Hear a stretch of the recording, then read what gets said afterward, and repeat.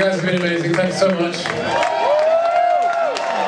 You know it's a good night when my wife steps up to the front row of the audience. Thanks so much, guys. See you next time.